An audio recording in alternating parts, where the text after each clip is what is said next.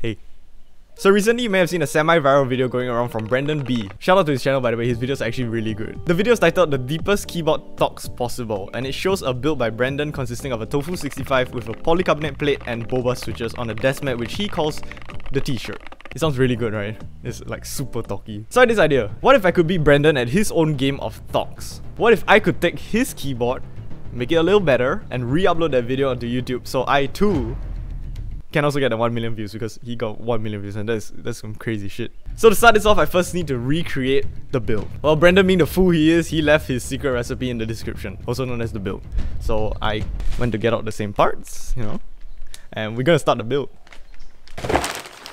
So we first start off with the case. It's a pretty cool case, it's a Tofu 60 Whoa, whoa, whoa, sh uh, I forgot about today's sponsor. Uh, this video is sponsored by Squarespace. Okay, originally this ad was supposed to be a funny ad where I go into the public and then I ask them, do you want to build a website? And they'll be like, well, what's a website? And then I'll transition straight into this. But thanks to the new restrictions, I can't go out anymore. So Squarespace is an all-in-one solution for anyone who's looking to create a website. They have a ton of world-class assets and templates which makes life so easy when designing a website. And personally, my favorite feature of Squarespace is that every website template and design is actually compatible with mobile. Considering most people are mobile these days, it's very important to have mobile compatibility. Plus, if you're not confident in making your own website yet, you can actually head over to squarespace.com and you can actually create your own website for free. It's free of charge. And once you're ready to launch that website, you can actually head over to squarespace.com slash squashyboy or use the code squashyboy for 10% off your first website or domain. And with that said, let's get back to the video. So the first part is to recreate his thockiest keyboard. If I can't even do that, then I don't think I can make it thockier. The case he used was a Tofu 65 and I have a Tofu 60 with me, which is roughly the same. It just has a small cutout in the center.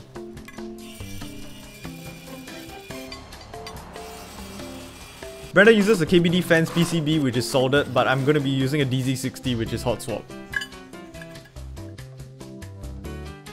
Now the plate he used and I'm using is a polycarbonate KBD fans plate and it fits the keyboard as it would.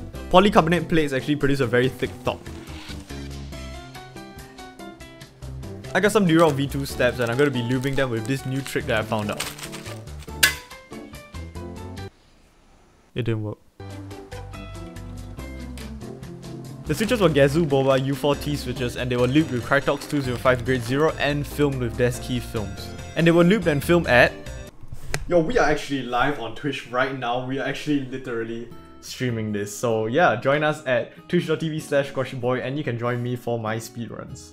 Say hi chat. So with the switches installed, it's time for the keycaps. I went with some GMK Hennessey keycaps. This may change the sound a little since he was using PBT material keycaps and to be honest, I much prefer the sound of PBT compared to ABS. It just has a slightly thockier sound. And with all that done, here's my recreation of Brendan's keyboard.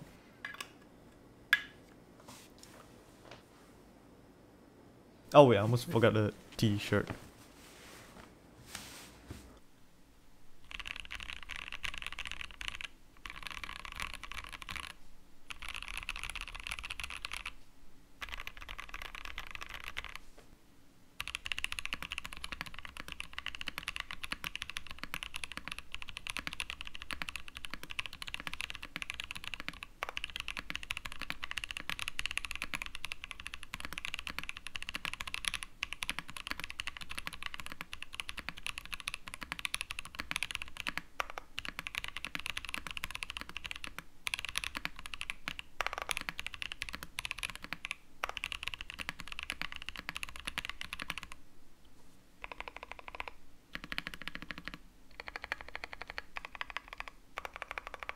Okay, it doesn't sound as deep as Brendan's keyboard, but here comes part 2. So in this part, I'm going to try 3 things to make this keyboard sound thocky. And the last part is going to be something special which I don't think anyone has tried before because no one's stupid enough to do it. So I was wondering what if you replace the foam in the case with a t-shirt. It may sound dumb, but you know, the t-shirt made it sound better on the table, so what if I put the t-shirt into the keyboard?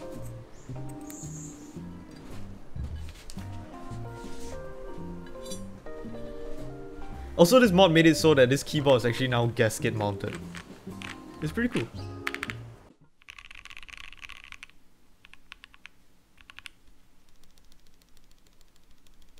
Uh...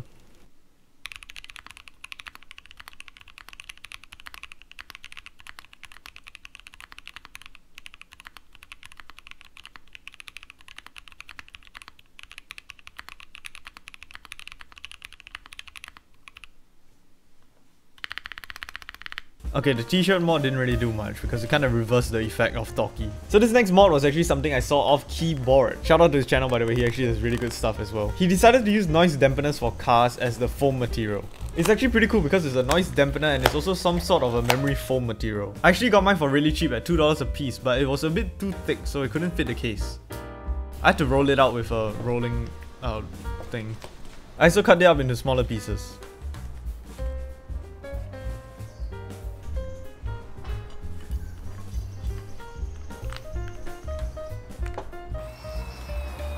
So with the keyboard back in, here's the sound test for the foam mod.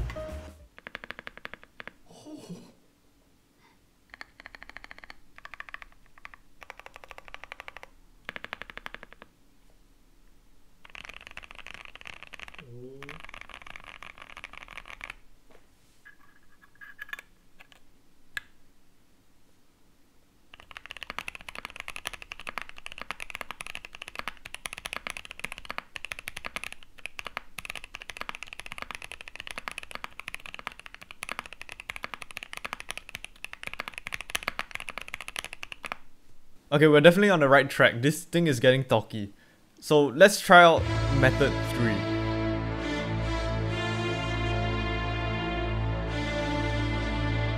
Yes, we'll be modding the keyboard with concrete.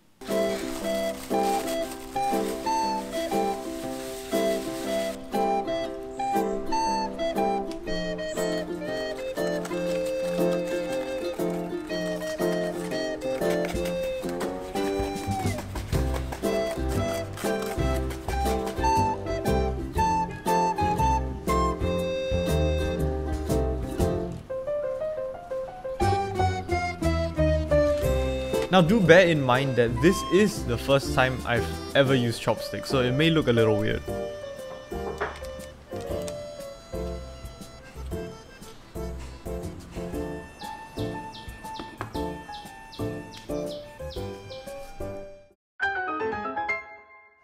So this is what happened to the keyboard after two days.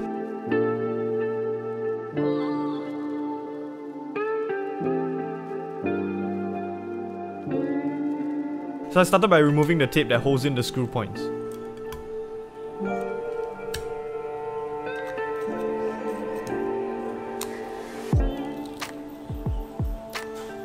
I also used some sandpaper to even out the surface.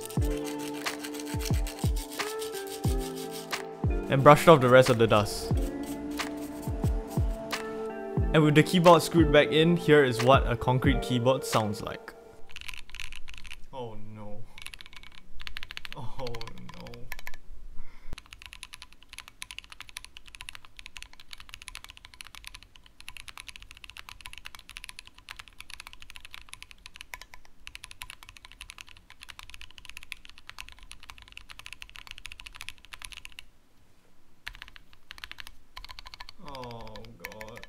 Go back. Can we go back? So in the end, Brendan still won for the most thockiest keyboard. But I would say the car insulation mod and the concrete mod actually took me by surprise. One actually being really good and the other one being concrete.